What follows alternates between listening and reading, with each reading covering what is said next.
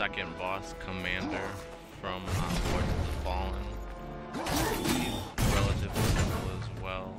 Um, you just kind of have to learn his attacks and find out when he's going to do a long range attack or a short range, like area of effect attack. But once you learn his attacks, you just have to sneak your attacks in while he's doing other things. And then, like right now, when he has his shields all around him, the only way to get those shields to go down is to kill the minions that he spawns. And I think he spawns one minion and then two for the rest of the the fight. but I always, when I fight these guys, I always try to get behind them and just get um, an auto attack in because then you do this little animation, which is basically an execution. So like a one-shot, one kill. I try to do it. And the commander, like, after he does his abilities, he's uh, like relatively like slow with his animations. So you have a lot of chances for like cheap shots. Like just watching this video voiceover, I see potential like where I could have done extra damage to him, but I didn't because I was just playing cautiously because I just wanted to beat him in one try. But um, oh, that, see that was a bad, bad, bad thing that I did right. I did not mean to do that. Well, that's what I'm thinking anyways. I don't think that's a strategy to just do ability in front of the boss when you're in range of them.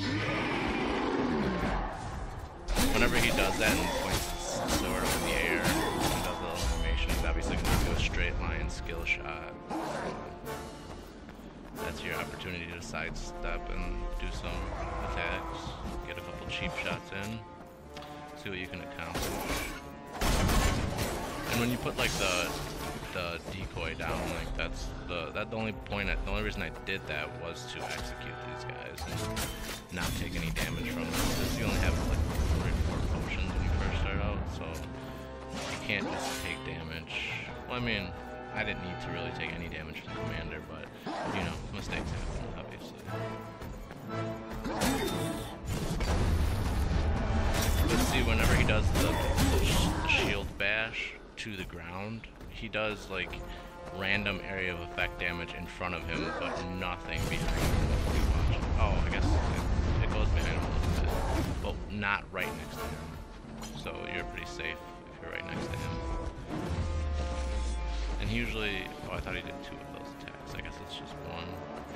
Oh, here it's two. Yeah, he does two right there. He has kind of like a couple different skill sets, I guess. And like I only have one potion left, which is obviously gonna be sufficient.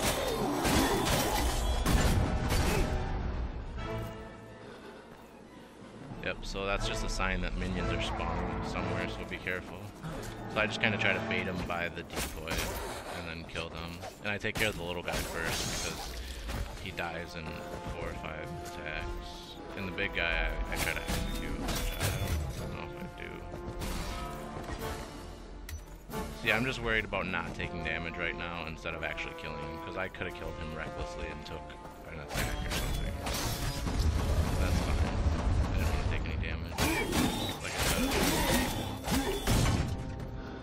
And it's always better to play conservative when you don't have that many potions. If you have seven potions, I guess be a little reckless as long as you're not going to get dying three attacks from the boss or two attacks, which will happen later.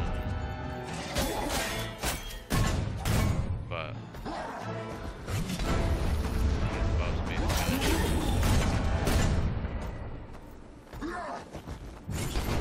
takes a step back and then a step forward, that means that he's gonna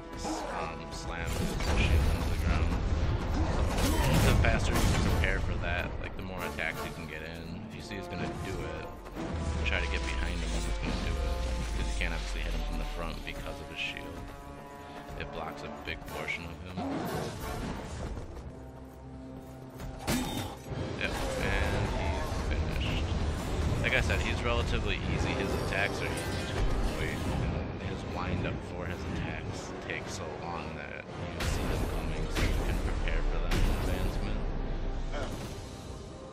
But that's relatively simple, as I said. Um, um,